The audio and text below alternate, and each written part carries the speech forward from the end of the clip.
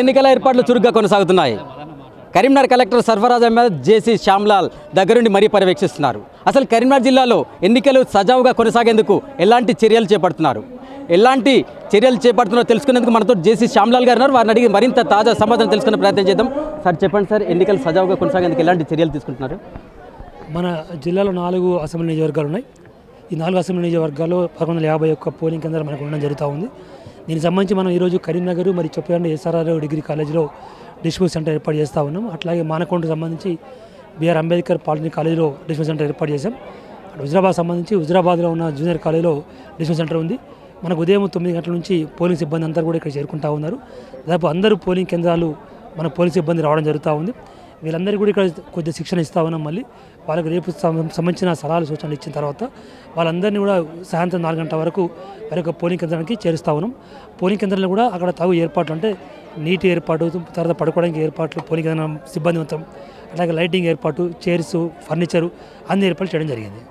అంటే కరీంనగర్ జిల్లాలో ఎన్ని పోలింగ్ కేంద్రాలు ఏర్పాటు చేశారు? అందులో ఎన్ని సమస్యాత్మక పోలింగ్ కేంద్రాలుగా గుర్తించారు? ఇక్కడ ఎలాంటి చర్యలు తీసుకుంటున్నారు? మనకు కరీంనగర్ జిల్లాలో పదకొండు వందల యాభై ఒక్క పోలింగ్ కేంద్రాలు ఉన్నాయి. దానిలో నూట పదహారు పోలింగ్ కేంద్రాలు మనం సమస్యాత్మకంగా గుర్తించినాం. అంటే గత ఎన్నికల అక్కడ జరిగిన సంఘటనల దృష్టిలో పెట్టుకొని అక్కడ ఉన్న పరిస్థితి దృష్టిలో పెట్టుకొని మనం నూట పదహారు పోలింగ్ కేంద్రాలు క్రిటికల్గా గుర్తించడం జరిగింది. ఈ క్రిటికల్ పోలింగ్ కేంద్రాలు అన్నింటిలో కూడా మనం లైవ్ వెబ్ కాస్ట్ చేస్తూ ఉన్నాం. అంటే ఎక్కడైతే మన బీటెక్ పిల్లలు కానీ ఎంబీఏ పిల్లలు కానీ విత్ ల్యాప్టాప్ పెట్టుకొని అక్కడ జరిగే ప్రతి సంఘటనని లైవ్ వెబ్కాస్ట్ చేస్తారు. ఈ లైవ్ వెబ్కాస్ట్ని జిల్లా స్థాయిలో కమాండ్ కంట్రోల్ ఏర్పాటు చేస్తా ఉన్నాం. దీన్ని మన పరిశీలకులకు అట్లాగే జిల్లా కలెక్టర్ గారు అట్లాగే మన పోలీసు కమిషనర్ గారు వీళ్ళందరూ పరిశీలన చేస్తూ ఉంటారు. ఏ చిన్న సంఘటన జరిగినా కూడా వెంటనే అప్రమత్తమై అక్కడ తగు సూచనలు ఇవ్వడం జరుగుతూ ఉంటుంది. దాంతోపాటుగా ప్రతి సమస్యాత్మక కేంద్రంలో మనము హాఫ్ సెక్షన్ ఆఫ్ పోలీసు కూడా ఏర్పాటు చేయడం జరిగింది. ఓటింగ్ పర్సంటేజ్ పెంచేందుకు ఎలాంటి చర్యలు తీసుకున్నారు? పర్సంటేజ్ ఎంత పెరుగుతుందని మీరు అనుకుంటున్నారు? మీ అందరికీ చూస్తూ ఉన్నారు గత రెండు మాసాలుగా మనం జిల్లా యంత్రాంగం అంతా ఓటింగ్ నమోదు కోసం మరియు ఓటింగ్ పెంచడం కోసం చాలా ఏర్పాటు చేశాం. రకరకాల కార్యక్రమాలు చేయడం జరిగింది. మనం దాదాపు ఇల్లు ప్రచారం చేశాం. అట్లాగే ఫ్లాష్ మ్యాప్స్ కానివ్వండి ర్యాలీస్ కానివ్వండి మానవారాలు కానివ్వండి పాంప్లెంట్స్ కానివ్వండి పోస్టర్లు బ్యానర్లు ప్రతి కాలేజీలకు వెళ్ళి కాలేజీలో చైతన్యవంత కార్యక్రమాలు తర్వాత అట్లాగే ప్రతి గ్రామ స్థాయిలో బూత్ స్థాయి అధికారుల ద్వారా గ్రామ సభలు ఏర్పాటు చేయడం జరిగింది.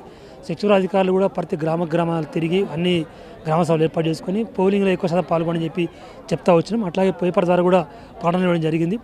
ఇవన్నిటిని దృష్టిలో పెట్టుకొని ఖచ్చితంగా ఈసారి పోలింగ్ శాతం పెంచుతామని ఏర్పాటు చేస్తామా అనుకుంటా ఉన్నాం. రూరల్లో దాదాపు ఎనభై ఎనభై శాతం అట్లాగే అర్బన్కి వస్తే డెబ్బై శాతం పోలింగ్ అవుతుందని చెప్పి ఎక్స్పెక్ట్ చేస్తా ఉన్నాం. అయితే ఇప్పటికీ కొత్తగా ఓటు వేసేవారు కావచ్చు లేకపోతే కొంతమంది ఓటర్ ఐడి కార్డు లేని వాళ్ళు కావచ్చు.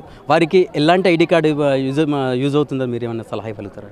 మనము ప్రతి ఓటర్కి మనం ఓటర్ స్లిప్ పంచడం జరిగింది. ఎవరికైతే ఓటర్ స్లిప్ రా రాలేదో వాళ్ళకి ఎపిక్ కార్డు కూడా వాళ్ళు మీసో ద్వారా డౌన్లోడ్ చేసుకోవచ్చు. అది లేకపోతే ఖచ్చితంగా పన్నెండు రకాల మనం గుర్తింపు కార్డులు వాళ్ళు ఉపయోగించుకోవచ్చు. అందులో వాళ్ళ బ్యాంక్ పాస్బుక్ కావచ్చు రైతు పాస్ పుస్తకం కావచ్చు అట్లాగే ఎంప్లాయీస్ అయితే వాళ్ళ యొక్క ఎంప్లాయీ ఐడి కార్డు కావచ్చు కిసాన్ క్రెడిట్ కార్డు కావచ్చు లేదా ఆధార్ కార్డు కావచ్చు ఇట్లా ఎనీ ఒక డాక్యుమెంటరీ ఎవిడెన్స్ ఉంటే దాన్ని మనం ఓటర్ గుర్తింపు కార్డుగా కింద పరిగణించి తీసుకొని వాళ్ళకి ఓటు ఇవ్వడం జరుగుతుంది. అయితే పోలింగ్ కేంద్రాల వద్ద శాంతి భద్రతల పరీక్షణ కోసం ఎలాంటి చర్యలు తీసుకున్నారు? మీ అందరికీ తెలుసు మనకు సెంట్రల్ ఫోర్స్ కూడా ఇక్కడ రావడం జరిగింది. వాళ్ళ నుంచి మనం ఇక్కడ అందరి ఫోర్స్ని తీసుకుంటున్నాం. తీసుకొని ప్రతి పోలింగ్ లొకేషన్లో దాదాపు ఒక హాఫ్ సెక్షన్ నుంచి ఒక సెక్షన్ పోలీస్ సిబ్బంది పెడతా ఉన్నాం. Thank you sir thank you very much సమస్యాత్మక పోలింగ్ స్టేషన్లపై ప్రత్యేక దృష్టిని సారించామంటున్నారు జాయింట్ కలెక్టర్ శ్యామ్లాల్. ఎన్ని ఎట్టి పరిస్థితుల్లో ప్రజ ఎన్నికలను ప్రశాంత వాతావరణంలో నిర్వహించేందుకు అన్ని రకాల చర్యలు తీసుకుంటున్నామంటున్నారు. Video journalist కర్ణాకర్తో Praveen Prime nine News Karimnagar.